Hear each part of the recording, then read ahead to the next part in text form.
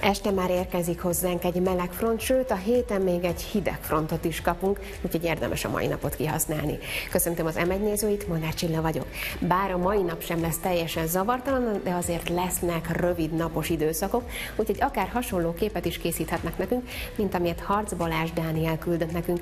Ő egyébként a Norma fán járt, nagyon szépen köszönjük, hogy gondolt ránk. A további érdekes időjárással kapcsolatos felvételeiket pedig önök is küldjék el a meteorfotókukat mtva.hu e-mail címre rá. Most is egyébként érintett bennünket egy oklúziós front, úgyhogy kettős fronti hatásra panaszkodhattak a legérzékenyebbek, de ezek, ez nagyon gyenge formában ért el bennünket, úgyhogy nagyon nagy változékonyságot nem is hozott.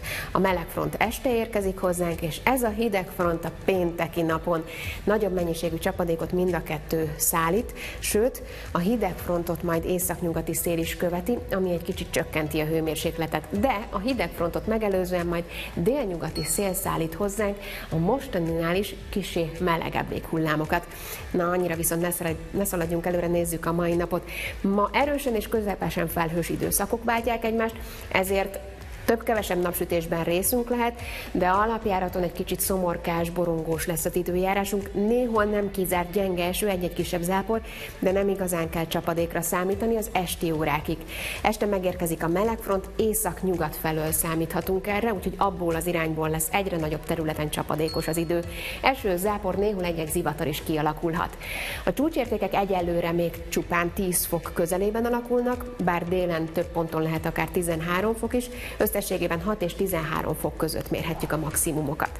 Aztán a délnyugati szél megteszi a hatását, Emiatt kedden akár 19 fok is lehet, sőt, kedd szerda és csütörtöki napokon 10 fok felett alakulnak a maximumok, kicsi enyhébbek lesznek az éjszakáink is, viszont az időjárás jellege is változik, hiszen kedden szükség lesz az esernyőkre, első zápor zivatar egyaránt előfordul, szerdán keleti irányba távolodik a front, de azért csekély csapadék még előfordulhat, csütörtökön viszont csapadékmentes lesz a nap, érdemes lesz egy kicsit feltöltődni, rákészülni a péntekre.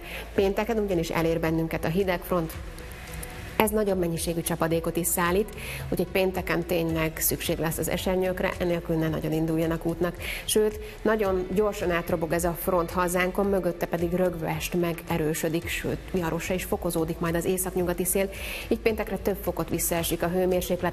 A hétvége egyébként már nyugodt lesz, némi napsütéssel is töltődhetünk, de a hideg kitölti itt a Kárpát-medencében a teret, úgyhogy a maximumok 10 fok közelében lesznek, a minimumok pedig csupán 0 fok környékén. A magyar nyelv napjához kapcsolódva mai témánk nem más, mint Kazinci és a légtünemények. A történetünk 1858-ban indul, amikor Laborfalvi Berde Áron a levegői nyírkosság némely égai befolyása címmel megtartotta akadémiai székfoglalóját.